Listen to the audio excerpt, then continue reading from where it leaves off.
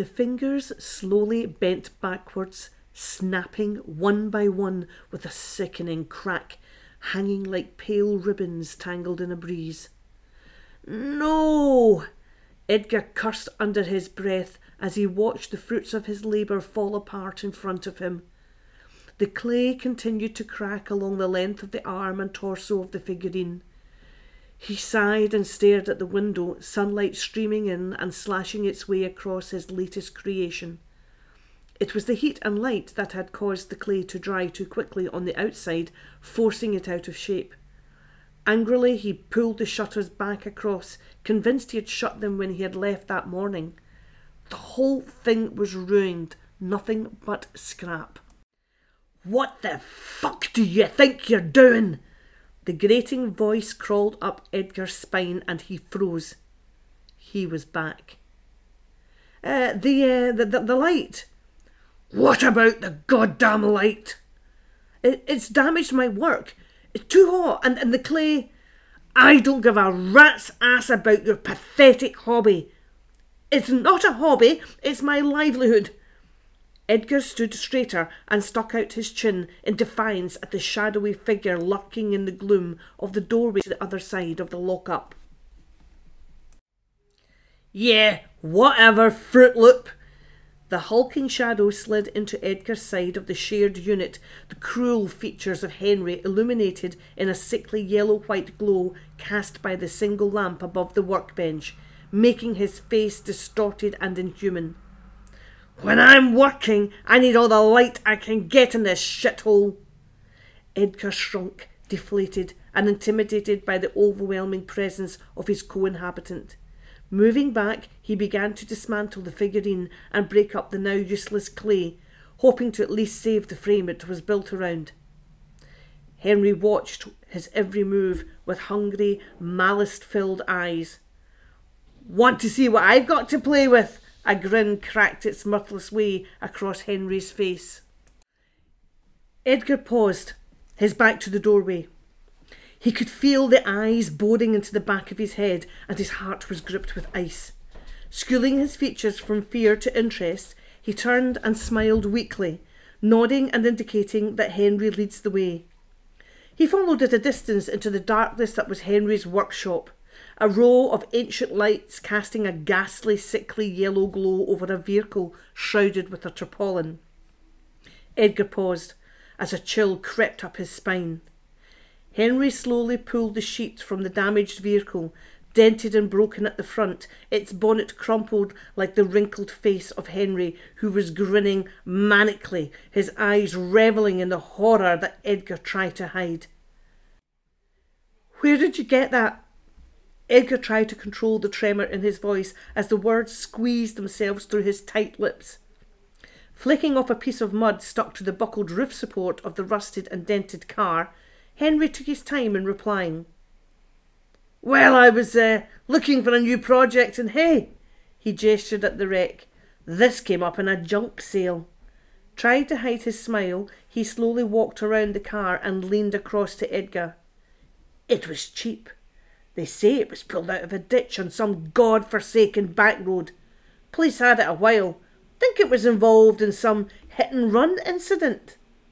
Henry didn't miss the flinch and flicker in Edgar's eyes, despite his attempt at keeping his features schooled. Oh, oh? Yeah. Never did catch the driver. They say a couple of people died, but hey, you know how stories grow arms and legs. The grin was humourless. Can't say that about the victims, though, can we? Henry laughed a grating and vicious cackle. You're a sick individual, Henry. Edgar could feel a cold sweat break out on his brow. Maybe, Fruit Loop, but not as sick as the fucker who mashed up two pedestrians, then drove off. His face was twisted in mock innocence. You wouldn't happen to know anything about that, would you? Edgar swallowed hard, his heart racing as he backed away to his own side of the unit. I'm not playing your stupid games, Henry. I've got to go home. He turned and fumbled with his keys as he stumbled towards the door. Just lock the whole fucking unit, Edgar. I'm pulling an all night stint. I want to get some answers from this hunk of metal. The steel lock up door slammed shut, and with trembling hands, Edgar turned the key in the old lock. He was furious with himself for letting Henry get to him. He had truly hoped the shithead had gone for good. It had been a few months since he had disappeared from the lockup that he had asked to share. Edgar remembered the dark and drizzling day Henry walked into his life. It had been a couple of weeks after the Edgar stopped his train of thought, shuddering. He had been unsure of Henry from the start. There was something repulsive about him, a darkness like black mould eating through a wall. But things had been tough. There was an economic downturn, his art wasn't selling as much as it used to, and he wasn't exactly an A-lister.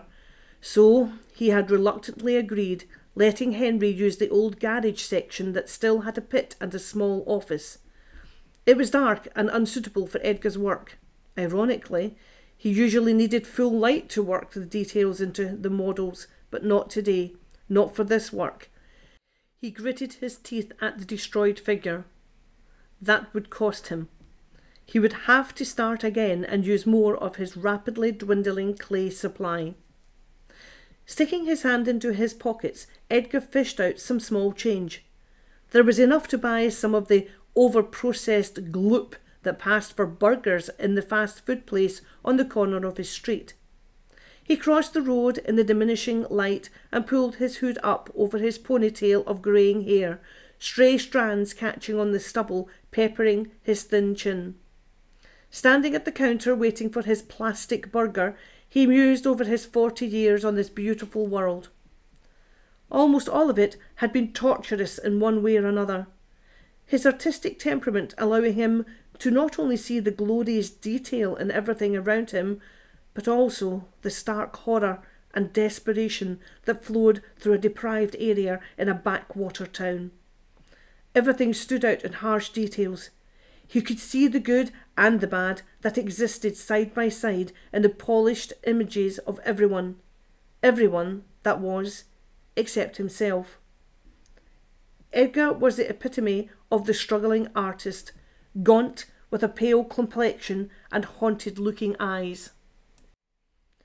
Dotty leaned over the counter, pressing the wrapped box into his hand. Gave you some extra fries, sweetie. You need some meat on your bones. She smiled kindly, her blood red lipstick unable to hide the cracks and wrinkles of her lips. Thank you, Dotty. I will pay you back, I promise. Edgar took the bulging box and nodded, trying to hide his shame.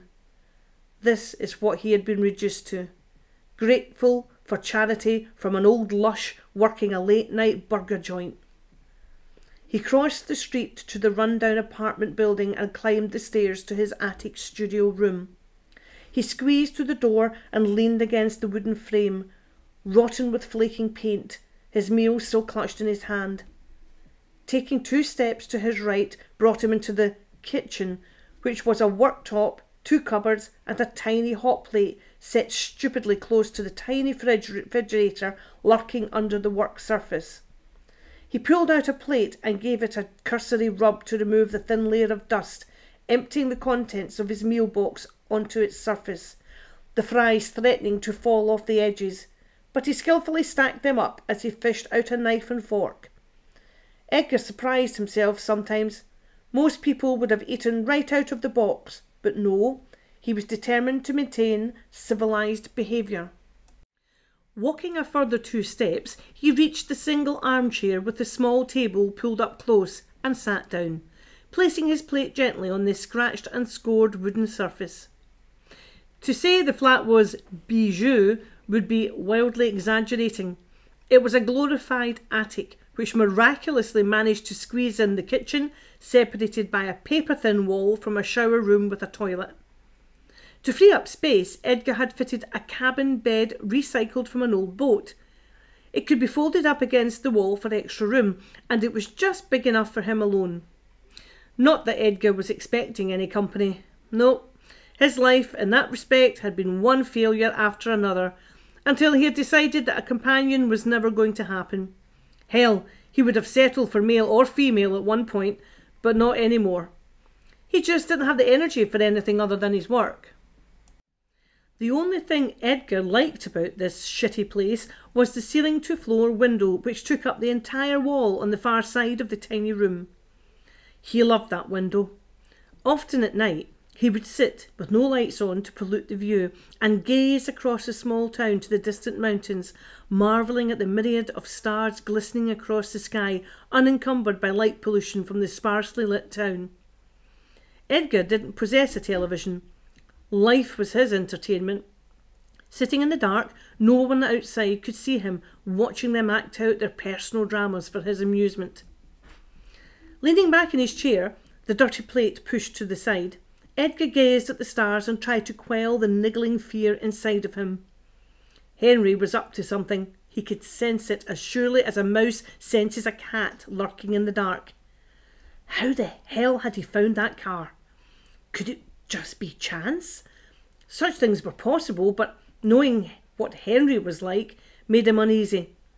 The odds against him finding that particular car, the costs of recovery, then bringing it back here were astronomical. If he didn't know better, Edgar thought that all the time Henry had been away, he'd been looking for that car, as if he knew his dirty little secret. Taking a deep breath, Edgar stood up and washed his plate and cutlery before carefully putting them away. He needed to paint. A wooden board on an easel always had paper pinned to it, but tonight Edgar needed oil, not watercolour. No pastels or subtlety was required here. He rifled through a stack of old work and found a canvas that he placed on the easel, lit by the faint streetlights and starlight from outside. The canvas had an old work still adorning its surface, a pleasant but cliched pastoral scene of trees, meadows, and cows. Picking up his palette, he used a flat knife to score a streak of blood red paint across the blue sky and grazing oxen. This was going to be an abstract a reflection of his mood, and his mood that night was dark.